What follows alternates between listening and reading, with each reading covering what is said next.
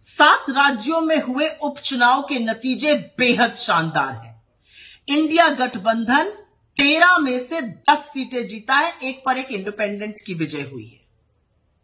Bharatiya Janata party वाले तेरह seat लड़े थे, ग्यारह सीट पर हारे हैं, मात्र दो जीते हैं। यह देश सिरे से बीजेपी को नकार रहा है। यह देश नरेंद्र मोदी को एक महीने के अंदर ही एक और बड़ा संदेश दे रहा है। और फिर से कह रहा है कि हमें नफरत की, हिंसा की, वैमनस्य की उल जलूल की बातों की राजनीति नहीं चाहिए। हमें अमन चाहिए, हमें शांति चाहिए, हमें चैन चाहिए।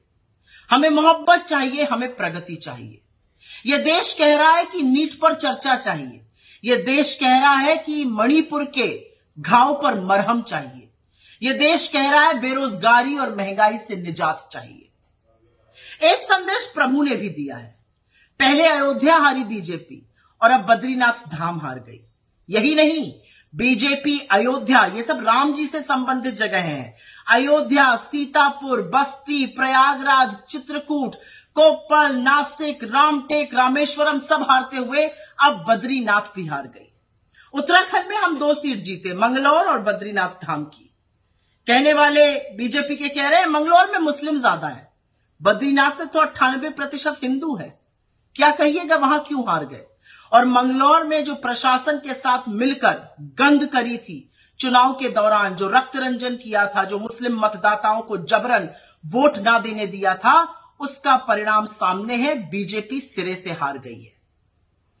हिमाचल प्रदेश में भी लोगों की हिमाचलियत को ललकार दिया था। जनादेश का असम्मान किया था, सरकार को गिराने का कुत्सित प्रयास किया था। जिन तीन सीटों पर निर्दलियों का इस्तीफा दिलाकर चुनाव कराया गया, उनमें से दो कांग्रेस ने जीत ली।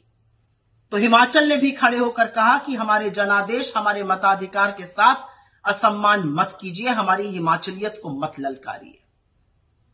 ये देश जाग चुका है। इस देश का हिंदू, इस देश का मुसलमान, इस देश के युवा, महिला, किसान, मजदूर सब जाग चुके हैं। और वो एक स्वर में कह रहे हैं कि देश में राजनीति हमारे मुद्दों पर, हमारी चीज़ों पर होनी चाहिए। और वो एक स्वर में नरेंद्र मोदी की नापाक राजनीति को नकार रहे हैं।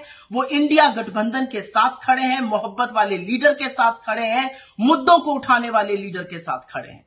वो राहुल गांधी के साथ खड़े हैं, वो हमारे घटक दलों के साथ खड़े हैं।